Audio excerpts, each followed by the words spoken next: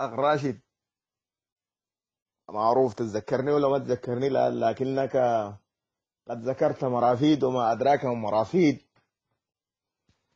عندما كنا نحسب بأن نقاتل من أجل إعلاء كلمة الله وتوحيد السودان ولكن أمانينا كانت هيهات. الله أكبر. نحن يا رجال قلنا وماتنا ودنا ما كحلنا بيكون كحلنا بيكفى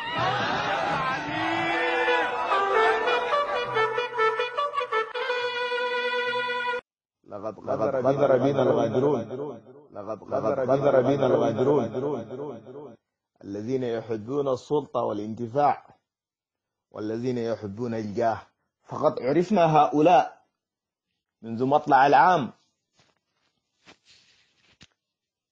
98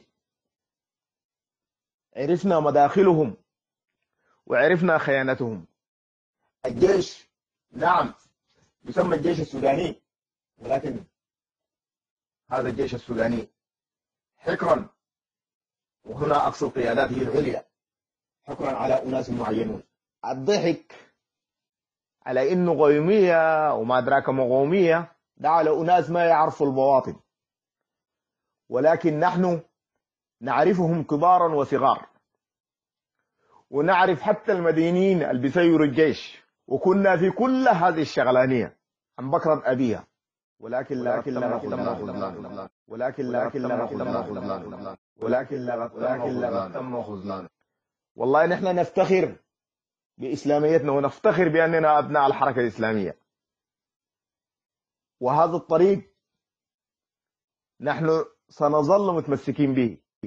ولكن ولكن لا يمكن. لا يمكن أن أن تعاد عاد كرة جديد ولكن ولكن لا يمكن لا يمكن أن أن تعاد عاد كرة من جديد لكن أعلم تماما أن القاعدة لا يمكن أن تسخ في علي عثمان وأمثاله ونافع وعلي كرتي وكل هؤلاء الزمر الموجودة الآن. لأن الذين قتلوا تاريخ الحركة الإسلامية هم الذين قتلوا السودان الآن ولكن ولكن لا يمكن لا يمكن أن أن تعاد عاد جديد ولكن ولكن لا يمكن لا يمكن أن أن تعاد عاد من